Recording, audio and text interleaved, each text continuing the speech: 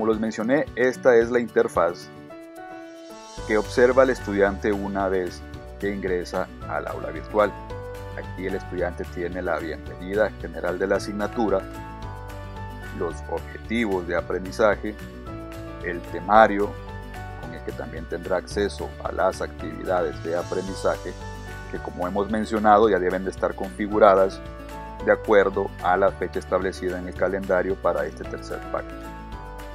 La forma de trabajo, que es la metodología bajo la cual se desarrollará la asignatura, los medios de comunicación que se utilizarán, el rol del profesor como tutor y también las actividades o el tipo de actividades que va a realizar y el tipo de recursos que encontrará en los contenidos.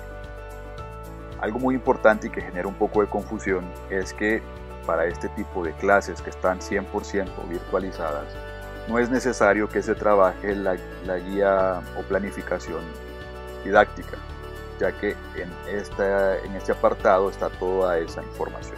También tenemos los criterios de evaluación en los que se presenta la distribución de la evaluación de la asignatura.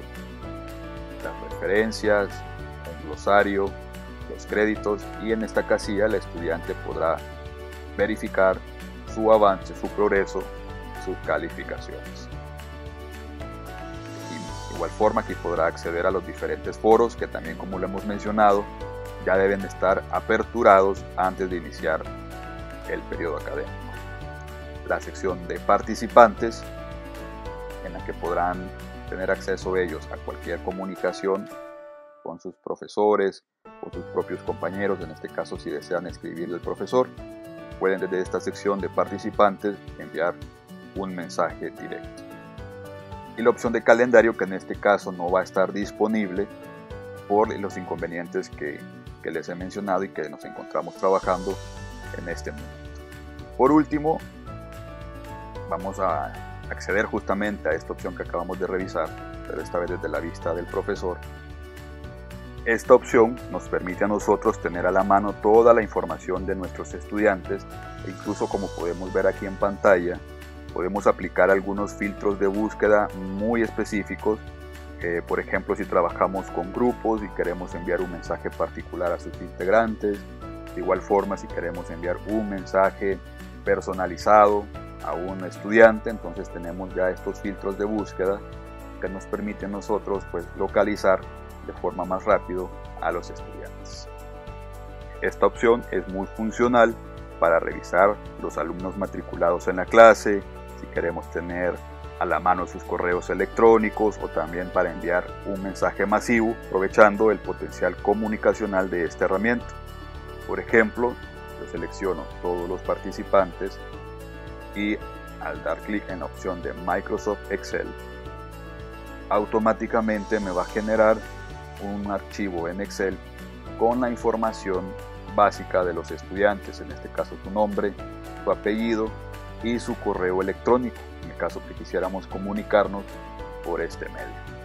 También tenemos la opción de enviar el mensaje directamente. selecciono aquí todos los participantes, redacto el mensaje,